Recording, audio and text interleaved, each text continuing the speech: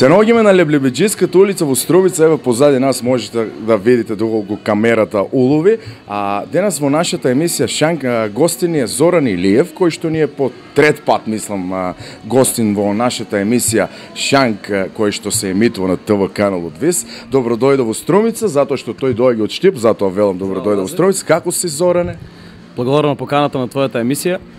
Значи по трет пат сум кај тебе, се надам дека ќе има уште многу емисии и еве овој пат да испромовираме нешто најново од мене. Е па тоа е причината заради кој што тоа е денеска повикам во нашата емисија Шака, тоа е неговата нова песна Лажеш пак. Ме лажеш ти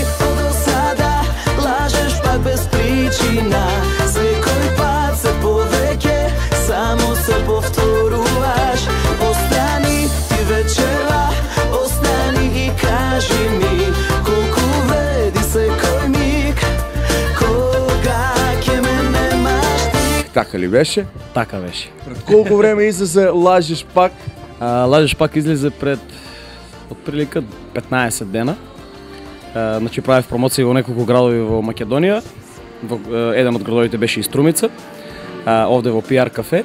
А, веќе 15 дена откако излезе песната, ја има на YouTube на YouTube канал постирано, на повеќе телевизии, еве денес и во вашата телевизија емисија. Значи по завршувањето на нашиот разговор ќе имаат можност гледачите да го видат видео записот и песната на Лажеш пак, а тоа значи дека комплетираш и албумот, така ли? Не, тоа требаше да биде Ту сега има пет синглови. поклон за тебе и за Бушев. И за мојот колега, Да, тоа се две цведиња, од мене поклон за вас. А, тоа не е албум, туку е чисто поклонче за моите фанови, пријатели, другари, другарки и тако дале. Значи на пола пат си со албумот, така ќе му Па, пет песни, па ајде уште пет. имам уште имам уште две-три песни што не се ставени на ова CD. Не ги ставив од причина што малце се а, послаби со аудио Да, да, им треба мастеринг и Да, како. треба подобро мас- треба подобро мастеринг да направам. Значи кога ќе направам деби албум Здравје Боже за година дена од прилика, а, ќе ги ставам и тие песни и ќе се комплетира тоа и еве пак ќе направиме емисија тогаш за деби албумот. Е, па колку време помина Ангели и Денос, Ангели и Демони победи на Макфест, кој 2011, 2011. Еве и тука на пола пат ноќта плаче како е тоа. Значи за нас. Нас и моја вистина имаш една англиска верзија нешто правиш. Да, имаше и таква песна, таа беше пред две години мислам. Толку има или нема? 10 години се вади албум. Па баш така. Значи јас мојата кариера почна некаде 2010 година официјално. Па да кажеме на некој начин да живееш професионално, значи од, од М2 од 2010 година, тогаш прв пат јавно ме виде публиката во Македонија. Пред тоа, како што ти имам кажано во претходни емисии, дека сум настапал по клубови и слично, но ништо не е било официализирано на повек, мислам, јавно низ Македонија. Така да од 2010 па навака еве 6 години. Се мачиш. Мачеме се, мачеме се.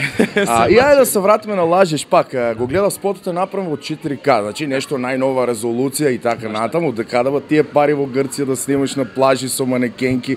Значи си собирал, си собирал. А свираше тука имаш е сега тезги во Стројбица успеа да се пробиеш тука си се почесто. Дали тоа значи дека а, со, колку време ги собираше пари? Дали тоа значи дека со тоа што си се почесто во Стројбица од тука никна парите? Затоа што го видов и местото кај да не го спомнам кој каде што настапуваш тука постојано дека ти е спонзор на песната Лажеш пак. Е, Да, да, да. Е, Значи, во, е. да, во, со неколку локали од Македонија, значи четири локала во Македонија, а, Струмица, Кавадарци, Штип и И кој беше бе? Не, Заборавив. битно ќе ти текне кога ќе заврши Струмица, емисијата. Кавадарци, Штип и Кажеш, Гевгелија. брат, сечи го тоа, сечи го тоа. Значи Струмица, Кавадарци, Штип и Гевгелија, четири локала кај што настапувам доста често, ми помогна а, да, да го склопам ова парче музика, парче... Кошто тој спот ме интересира. Скапо ми стои, има манекенки па плажи Грција, па една Значи, најнова манекенките- манекенките ми се- 4K, Сашо Ковачевич бичи нешто. Па не, гледај се, за наши услови мислам за Македонија дека е доста солидно направено, доста професионално, доста добро. Песната се надам Кажи дека ќе се допадне.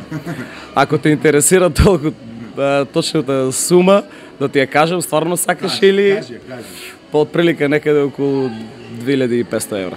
Значи, точната сума од прилика некад. Од Значи, прилика. треба да биде точна, не од прилика. Па добро сега 2420, ај, нема веза. Ај, три свадби се тоа, си собрал пари од некои свадби. Не, не, не. Значи ми помогнаа луѓето што ги кажавме, нешто од мене си дадов пари, значи окей. За овој проект мислам дека вредеше да да уложам и мои лични пари, така да не жалам такви пари за такви добри проекти и секогаш ќе Кој режираше еве да биде баш во Грција на плажа, девојки, кој организираше сето таа, значи, сето тоа снимање? цел, целата работа организацијски и организирав јас сам. Сам. Буквално се сам. А, Имам јас едно такво искуство сам да организирам. да. Значи буквално се сам организирав. Секако а, на мое задоволство го повикав а, детето што ми го правеше, човекот што ми го правеше спотот, Кристијан Конески од Прилеп, се договоривме со него за се, за цена и слично. Добро, не се завргај. Значи тој го режираше спотот пред се, мој беа локациите, значи јас ги одбрав локациите каде што каде што треба да биде спотот. Значи спотот е направен по моја желба со мои замислени сцени секако со негова голема помош, значи јас не можам да режирам се и да бидам дел од спотот и да режирам. Значи тој го режираше целиот спот, Кристијан Конецки од Прилеп. Има доста професионални камери, како што кажете и во 4К резолуција. А, многу сум задоволен од неговата професионалност. Се надам дека ќе соработуваме и понатаму повторно, бидејќи со него сме пријатели доста години и еве дојде ден и ние да снимаме нешто заедно. А девојките? Девојките ми се другарки буквално. Исто повеќе Се годишни. користиш максимално. Другари, пријатели. Ајде. Брат, кога ќе дојдеш во таква ситуација за да снимаш нешто, еве јас сум во таква ситуација да снимав нешто, имав потреба од, од помош, финансиска, другарска помош, пријателска помош, значи на некој начин не ги искористив јас девојките, туку тоа беше секако Едноставно ги промовираш и Едноставно ги промовирав и нив, секако и на нивно задоволство, на моје преголемо задоволство, тие прифатија буквално со еден збор да бидат дел од спото. Баш сум им благодарен заради тоа и се надам дека понатаму пак ќе соработуваме. Сега почна веќе со 4К и со еве доста квалитетен спот. Тоа значи дека веќе нема враќање назад. Слика, песна дека- и таа, треба да, сега да, се да, да. нагоре и нагоре. Мислам дека така најдобро се промовира. Па да ти кажам право, да ти кажам право, веќе значи еве после две години, три можеби вадам песна.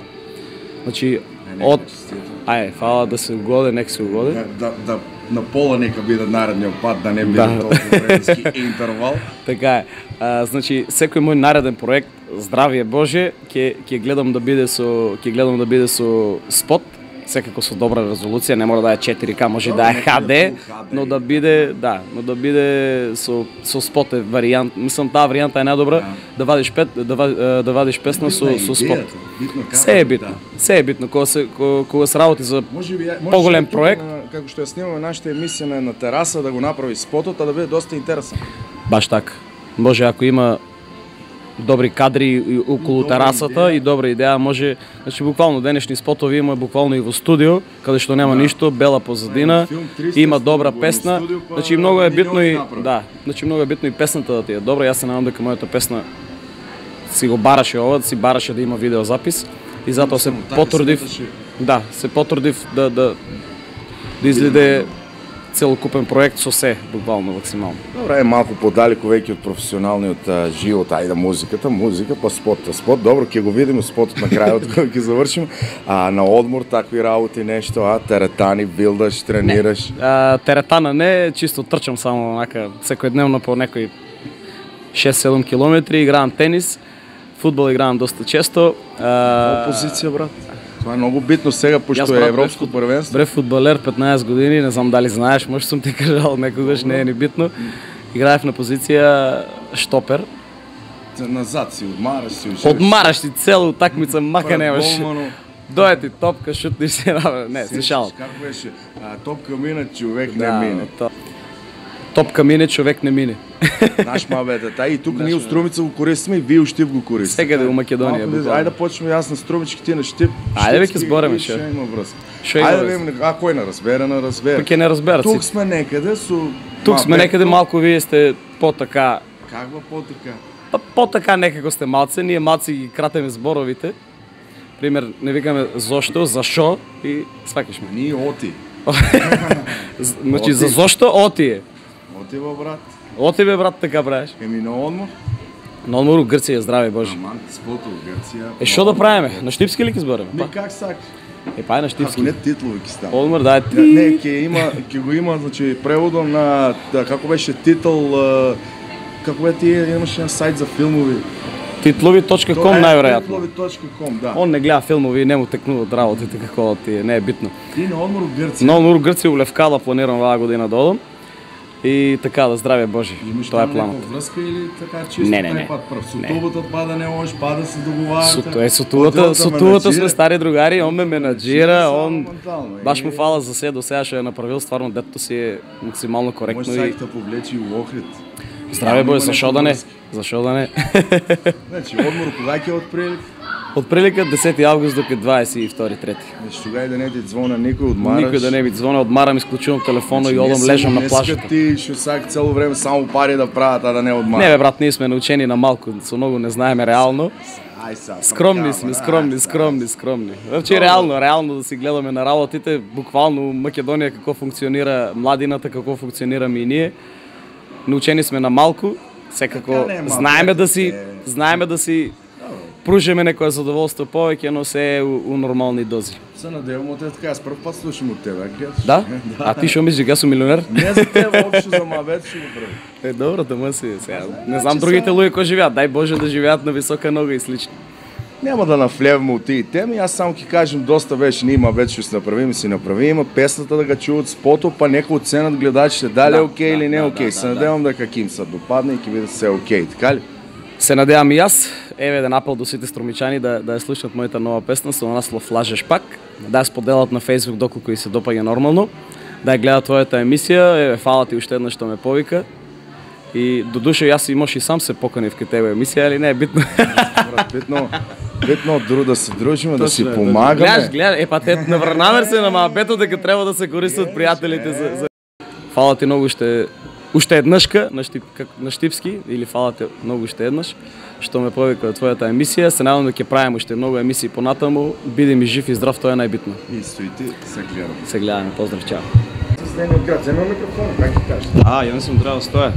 Јас сум Зоран Лиев и се гледаме во Звездениот На некој шанк во Звездениот град.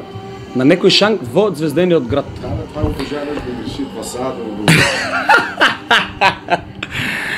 Јас сум Зоран Илиев и се гледаме на некој шанк во Звездениот град. Бидете ми поздравени. Чао на сите.